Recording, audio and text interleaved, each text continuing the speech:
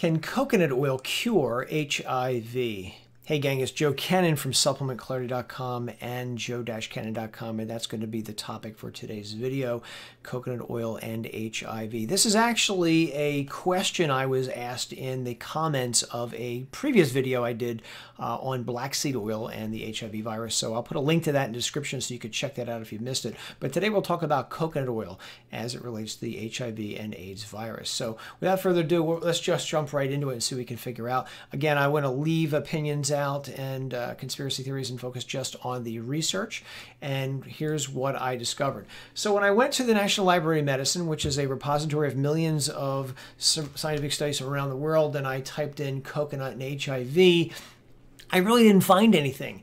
Uh, again, I use the Latin name for coconut, you know, over here as well as HIV. I find three studies, and none of them really are the type of study I'm looking for, which is essentially let's take people with HIV into the lab, let's give them coconuts uh, or coconut oil or its uh, various ingredients, and see if that has any effect on the HIV virus, lowering CD4 counts uh, or raising CD4 counts, etc. Uh, I can't find any evidence that. I do see various uh, opinion pieces, it looks like, uh, where they discuss how coconut oil may help treat uh, STDs. That's very interesting. Uh, in terms of monolaurin, which I'll talk about in a moment, monolaurin is a uh, compound that we make when we eat coconuts or an ingredient in coconut.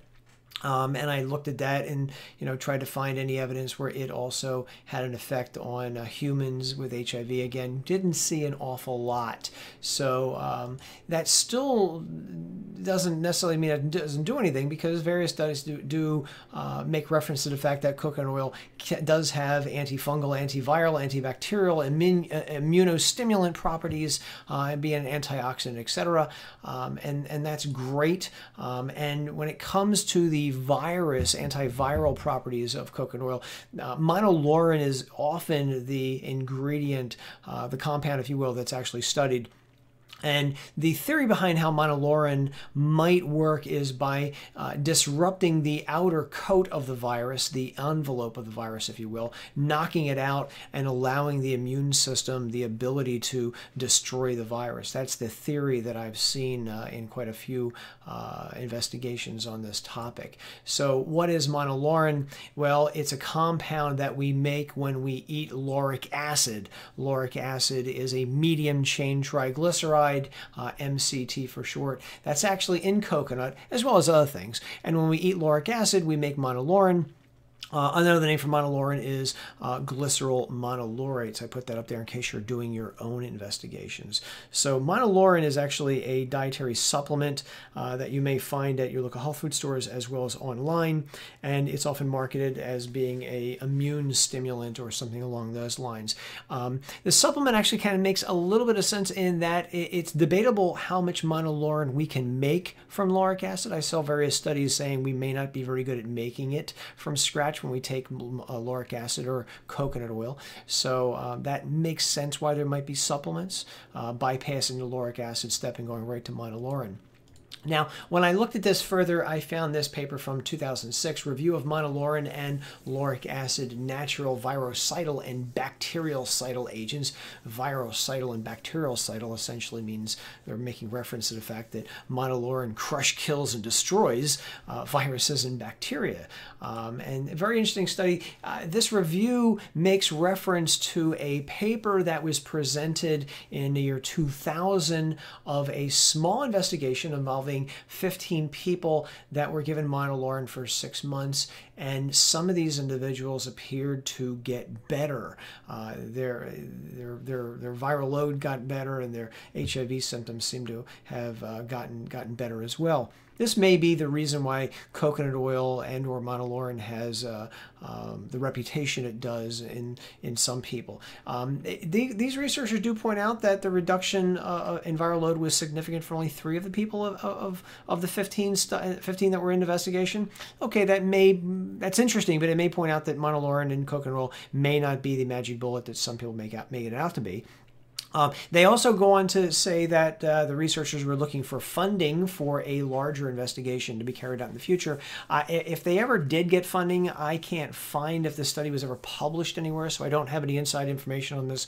I can only tell you that I, I can't find where this pilot study, this beginning study, if you will, this small study of 15 people, uh, was ever published. If it was, I can't find it. It looks like it was presented at a scientific convention in the year 2000. And if they ever uh, did come out with a larger investigation. I cannot locate that either. Um, if any of you watching this video are aware of that investigation where it might be published, uh, please do leave a link in the description. I would love to take a look at it and discuss it with you. Um, and I understand why some people might be saying, you know, they probably never got funding because of conspiracies and all that stuff. Uh, you know, I honestly can't deny the fact that uh, Big Pharma probably is not going to be funding a study of a cheap alternative to expensive medications. That does make sense to me. Uh, but, you know, you can always go fund uh, get funding from somewhere else. Where else? I don't know. Um, but just something that uh, you know something occurred to me as I as I read this. But again, I have no inside information on what, what the what actually ultimately became of this. I, I really do wish other people would have investigated this and followed up. I'd like to have seen more investigations. Um, this uh, paper also makes, makes reference to the fact that monolaurin can inactivate or destroy the human human immunodeficiency virus, HIV virus, as well as a bunch of other viruses as well.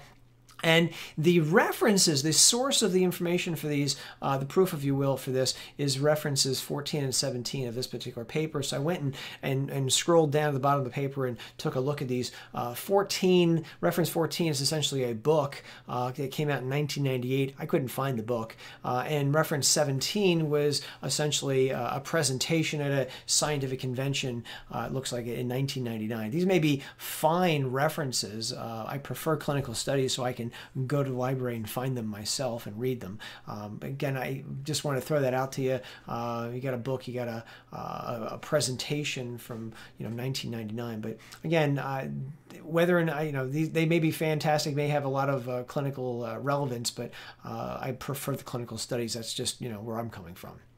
So, um, to be perfectly fair and honest, I did see this, uh, this, this article from 2009 where monolaurin appeared to prevent the transmission of the simian immunodeficiency virus, the SIV virus, which is similar to, in some respects, to the HIV virus in humans.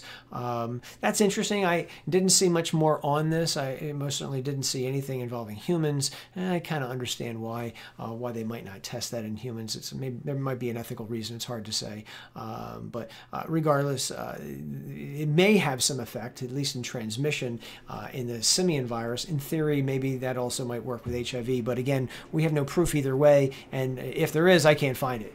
So, um, does coconut uh, oil or monolaurin work in terms of reducing uh, the HIV virus? I can't say either way, guys, because I have no clinical evidence one way or the other. Clinical evidence meaning take it into the lab, let's test it in human beings.